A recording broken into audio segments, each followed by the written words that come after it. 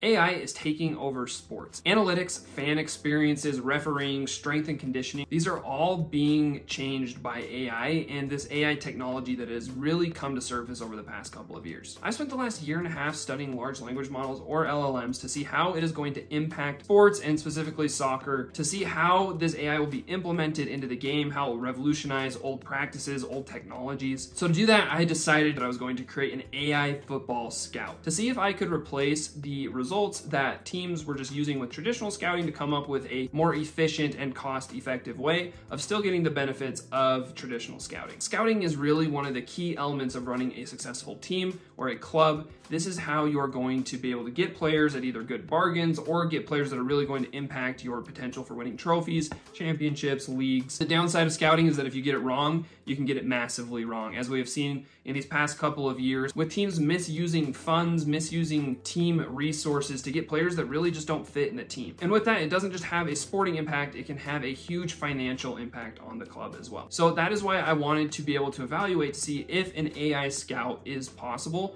and really if it has any future and can replace traditional scouting. So in this video, to see if it really can be that replacement, I'm gonna go over how I built it, and then we'll examine some of the results to see what it gave us, and then we'll see if AI can actually replace scouting in the future. With these large language models, there's really two methods that you can take. So the first route is going to be using open source models such as Meta's Llama 3, and this route offers way more customization and it can be substantially cheaper, but it is also much more complex to get up and running on your own, and sometimes you're going to need to have have the necessary hardware to run that. And so the other option is to use some of these pre-trained models and APIs such as OpenAI's GPT-4, which is what powers the almighty ChatGPT. This route doesn't offer as much customization, but it does allow us to be quicker with our development and kind of test our idea. So for time's sake, we are just going to use GPT-4 from OpenAI to run this model. And because I don't really see myself spending a whole lot of money on this in the meantime, just to test and validate this idea, we will just use the thing that is quickest and easiest to set up. So I headed over to OpenAI's site, purchased my credits, and I was ready to go. But actually there's really one important thing with OpenAI's model,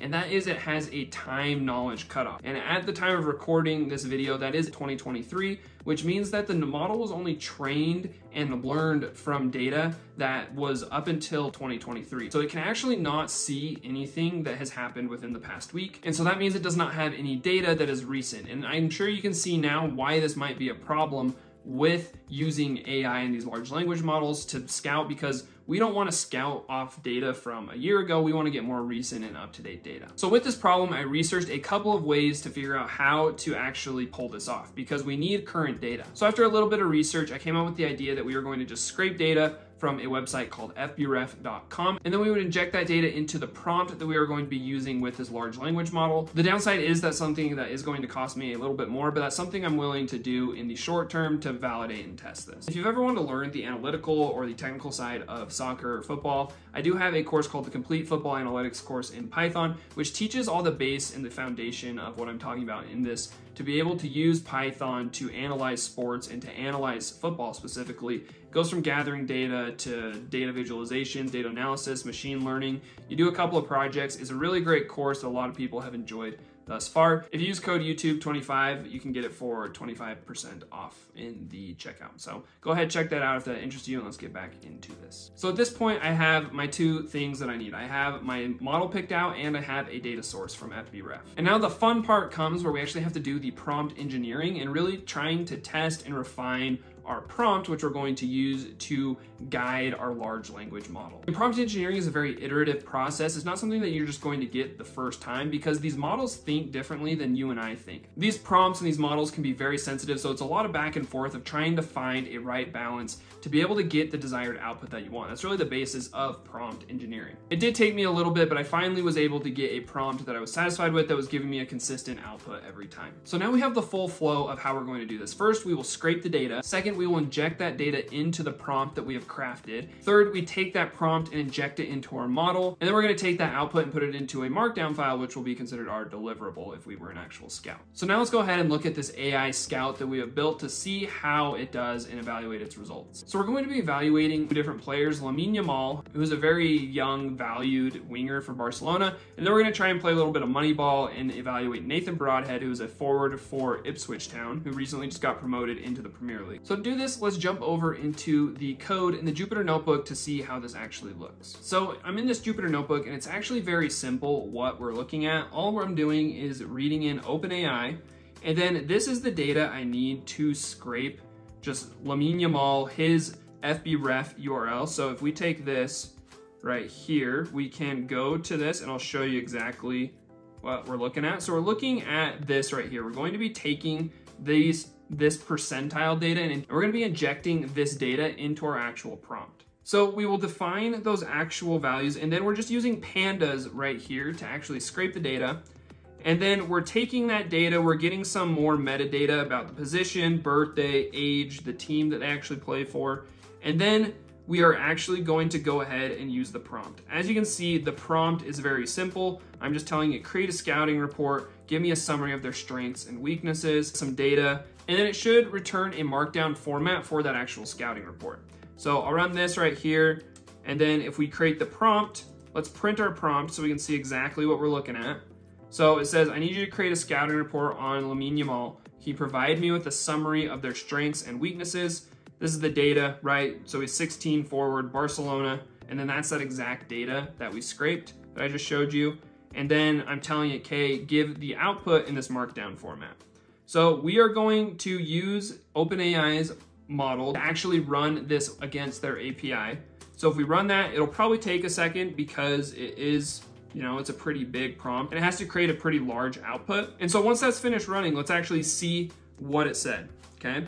So you can print this and we can read that, but let's just let's save that markdown file and let's go ahead and look at the exact markdown because it is a little bit easier to read. So I am actually using PyCharm now to go ahead and read this, but as you can see, it created a scouting report for Lamine Yamal. Strengths is at high creativity and playmaking skills. So he demonstrates strong capabilities for setting up goals, which is true, evident from his high percentiles and expected assists and shot creating actions. And then defensive contributions, despite being a forward, he does usually drop back and play. Dribbling and take-ons is probably one of his better skills.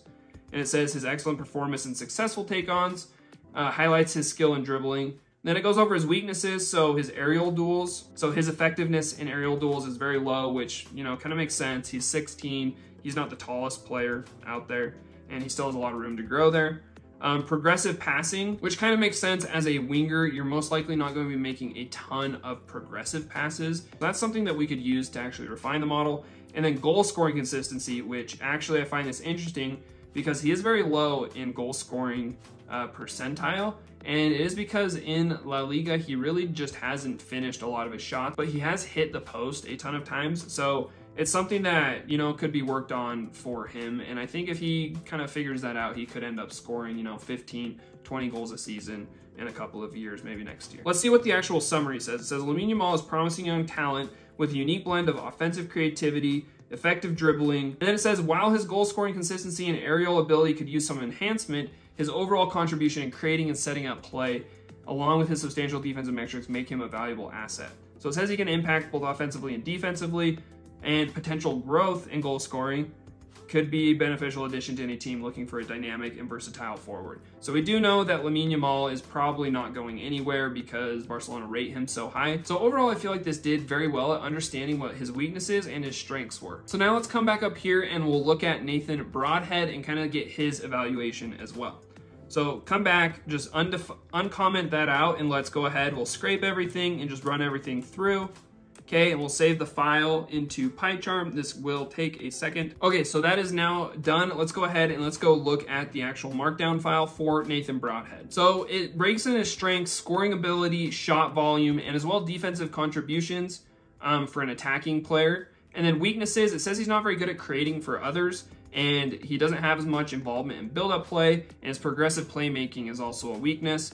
And it says Nathan Broadhead is a dynamic forward midfielder known for his exceptional goal scoring ability and regular shot taking. However, his ability to, con to, contribute through team play through assists and progressive actions is less impressive. So then down here it says that he could be a beneficial addition to teams needing a proven goal scorer who can independently create chances, but might not fit as well in a system that relies heavy, heavily on intricate build-up play or collective attacking movements. So that's something very interesting that it's saying what type of system he would benefit from, what type of system he would really flourish in.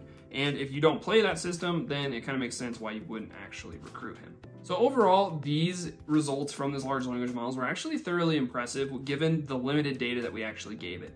And I like to think when I'm sitting and thinking about AI in the future of scouting and AI in the future of football, is that AI necessarily won't be the thing that replaces jobs or traditional scouting, but rather it's going to be somebody that is leveraging and using AI will be the one to replace the traditional scouts and the traditional methods that are being currently being implemented at even some of the largest clubs. It was able to take just simple data and turn that into a digestible format and a digestible, and it had really good reasoning based off the data that it was given. I liked how it was able to give the type of system that a player would fit into, what type of system it wouldn't fit into, strengths, weaknesses, right? Obviously though, it wasn't perfect because of this limited data and because of just the limitations of AI and large language model. To improve this model, we'd actually want to include a ton more variables and a lot more data. These include things such as like market value of a player, get more physical data of a player, and then we'd normalize the stats based off their age, and then as well start to incorporate things like event data and tracking data to get shot locations, to get, you know, tackles, and really just any other data points that would be useful for traditional scouting.